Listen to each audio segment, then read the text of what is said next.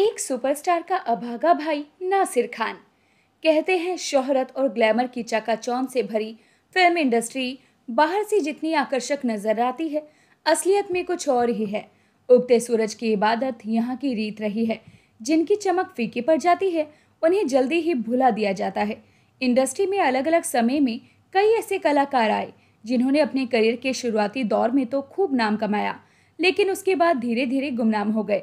अभिनेता नासिर खान के साथ भी कुछ ऐसा ही हुआ। भले ही उन्होंने अपने भाई दिलीप कुमार के साथ अपने करियर की शुरुआत की हो, लेकिन आज उन्हें कोई भी नहीं जानता, बल्कि उन्हें दिलीप कुमार साहब के भाई के तौर पर ही जाना जाता है। आखिर ऐसा क्या हुआ कि एक सुपरस्टार एक्टर का भाई अपनी अभागी किस्मत की वजह से कई फ़िल्मों में काम करने के बावजूद भी लोगों की नज़रों से छुपा रहा? आज की हमारी इस वीडियो में हम यही जानेंगे तो बने रहिए वीडियो के अंत तक। अभिनेता और दिलीप कुमार के छोटे भाई नासिर खान भी इसी लिस्ट के हीरो थे, जिन्हें बॉलीवुड की अंधेरी दुनिया ने अपने आप में सिमेट लिया था। गुमनामी के अंधेरे से इनके लिए निकल पाना आसान नहीं था, बल्कि उन्होंने कई फ़िल्मों में काम किया। लेकिन एक समय ऐसा भी आया, जब इन्हें सिर्फ़ और सिर्फ़ दिलीप कुमार साहब के भाई के तौर पर जाना जाने लगा। आखिर क्यों नहीं लोगों ने इनकी फ़िल्मों को पहचाना? दरअसल अपने करियर में इन्होंने आठ फ़िल्म फेयर पद्म विभूषण और कई अन्य बड़े अवार्ड भी हासिल किए थे। दिलीप कुमार और नासिर खान का जन्म लाला गुलाम सरवार और आयशा बेगम के घर में हुआ था, जो कि फलों के व्यापारी थे। पेशावर में दिलीप साहब के पिता के बाग थे। इन्हीं फलों को बेचकर उनके घर का गुजारा होता था। बारह भाई बहनों में से दिलीप कुमार का बचपन बहुत ही तंगहाली में बीता था, क्योंकि घर में लोग ज़्यादा थे और कमाने वाला सिर्फ़ एक दिलीप कुमार को मिलाकर उनके छह भाई थे, जिनके नाम नासिर खान, एहसान खान, अलसम खान, नूर मोहम्मद, आयूब सरबार थे। वहीं दिलीप साहब की छह बहनें, फैजिया खान, सकीना खान, ताज खान, फरीज़ा खान, सईदा खान और आख्तर आसिफ थी।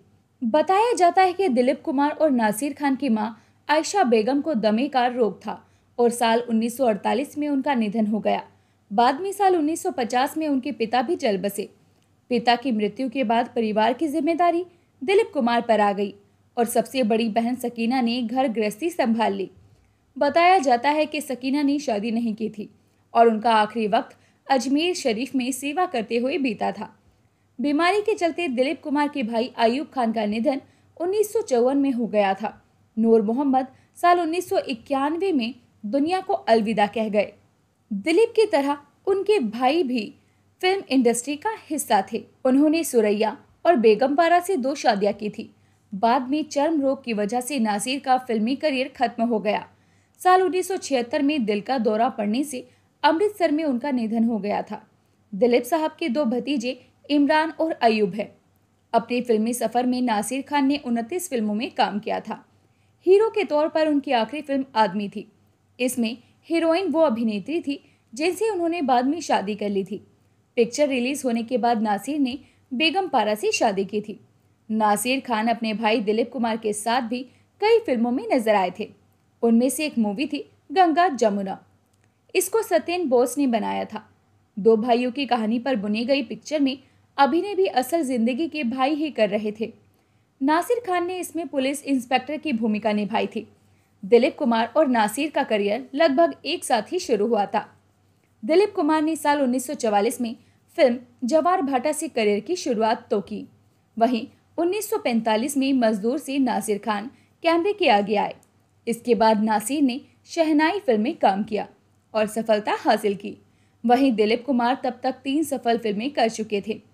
इसके बाद साल उन्नीस सौ इक्यावन में नासिर ने नगीना में काम किया। उस वक्त दिलीप दीदार में अभिनय कर रहे थे। फिर नासिर धीरे धीरे दिलीप कुमार से पिछड़ते चले गए। कुछ समय बाद उन्होंने फिल्मी दुनिया को ही अलविदा कह दिया। वो नासिक में खेती बाड़ी करने लगे। उनका वहाँ पोल्ट्री फार्म भी था। बेगमपारा से शादी के बाद दोनों को तीन संतान हुई। इनमें एक बेटा नादिर खान, दूसरा बेटा आयूब खान और बेटी लुबना है। बाद में अयूब बॉलीवुड फ़िल्मों में अभिनेता बने। नासिर तीन मई साल 1974 को इस दुनिया को अलविदा कह गए थे। 9 दिसंबर 2008 को उनकी पत्नी बेगम पारा का भी निधन हो गया। नासिर खान ने अपने करियर के दौरान मजदूर, अंगारी, खजाना, नाजनीन, हंगामा, नगीना, आगोश, श्रीमती जी और नखरी जैसी कुल उनतीस फ़िल्मों में काम किया। लेकिन दोस्तों, पिता ने ना सही, पर बेटी ने अपने पिता का नाम ऊँचा कर दिया। दरअसल नासिर खान के बेटे आयूब खान को आप बखूबी जानते होंगे, क्योंकि उन्हें टीवी सीरियल के साथ कई फ़िल्मों में नेगेटिव और पॉजिटिव दोनों किरदार निभाते हुए देखा गया है।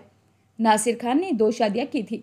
उनकी दूसरी शादी उस जमाने की मशहूर एक्ट्रेस बेगम पारा से हुई। इसी शादी से उन्हें एक बेटा हुआ, जिसका नाम अयूब खान रखा गया। अयूब खान का जन्म 23 फरवरी साल उन्नीस सौ अड़सठ को मुंबई में हुआ था। एक्टर ने भी अभिनय को अपने करियर के तौर पर चुना। आज उन्हें इंडस्ट्री में आए लगभग तीन दशक का समय बीत चुका है।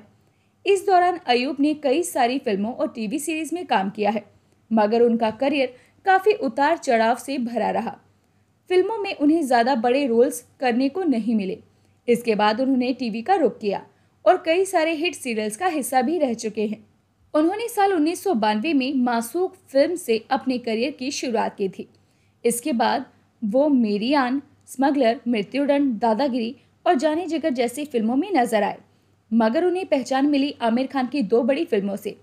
आमिर खान की फ़िल्म मेला में वो छोटा सा किरदार निभाते नज़र आए। मगर इस किरदार ने उन्हें पहचान दिलाई। इसके अगले ही साल वो आमिर खान की एक और बड़ी फ़िल्म का हिस्सा रहे।